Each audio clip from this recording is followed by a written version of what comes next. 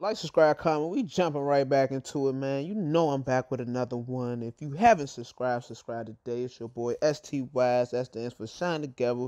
We are gonna shine together. Hit that notification bell, and I'm back. The board says Boosie apologized to family after getting picked up by the feds. I want to take this time to apologize to my kids. I'm sorry. I love y'all forever. At the end of the day, this is what I got to say. Boosie was doing too much on Vlad TV, talking too much, talking about all of the wrong stuff, offending people. You don't think them people that you offended wasn't going to dig into you, wasn't going to get into your business, wasn't going to check in and see what you got going on, man. They been watching you, man. You just was dumb and you wasn't smart enough to realize that everybody that's been on Vlad got picked up by the feds, and that is facts, man.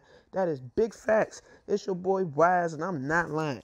If you think I'm lying, then let me know something in the comments right now. Let me know something in the comments right now. I knew something was fishy with Boosie, man. You want to go to the feds and go pull up on Melly because you trying to look like you somebody that you not because you trying to promote your image and promote whatever you got going on. And in the midst of it, you got picked up. So yeah, it's your boy Wise. I'm back and I'm better and I'm doing this, man. Boosie got picked up by the feds, y'all, for talking too much, doing too much, and just not knowing when to shut up, man.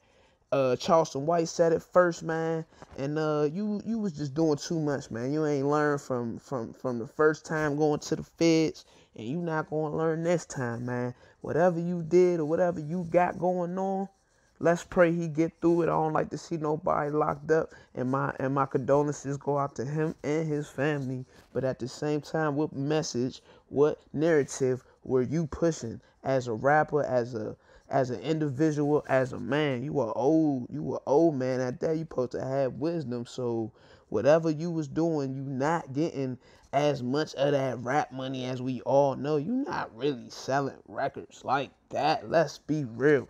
No one's really listening to Boosie or waiting for him to drop any EP, any mixtape, or anything. No one really cares. He has to go and work with people and make his name known. Like he, no one wants to hear him. No one's calling for a Boosie feature. None of that. And that's a fact. Maybe these rappers that's trying to get on, but people that's already in the game, come on, man. They don't need him.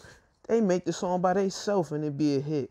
For real, no disrespect. So the way he was getting his money and flexing and flogging and showing how he was, oh, I'm building a whole town in my backyard and ah ah ah. Where are you getting this money from, sir?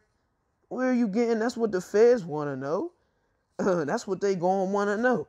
Where are you getting this money from? You just been dry snitching and ratting on yourself from the jump, bro. Every time you open your mouth, you end up saying the worst thing ever.